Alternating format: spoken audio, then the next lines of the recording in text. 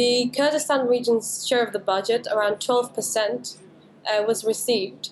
What did Baghdad do with the rest of the 88%? If you look at the rest of Iraq and Kurdistan region, you would literally be looking at two worlds apart in terms of public services, in terms of infrastructure, in terms of development and innovation.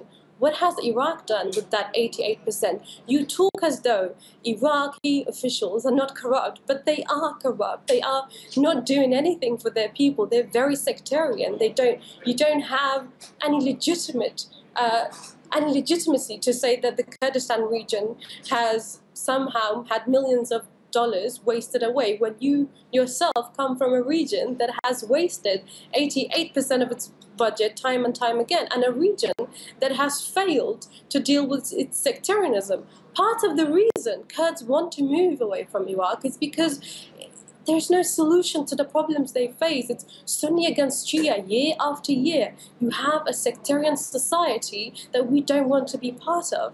And I think it's unfair for anyone to criticize Kurdistan region if they're not going to criticize their own areas as well.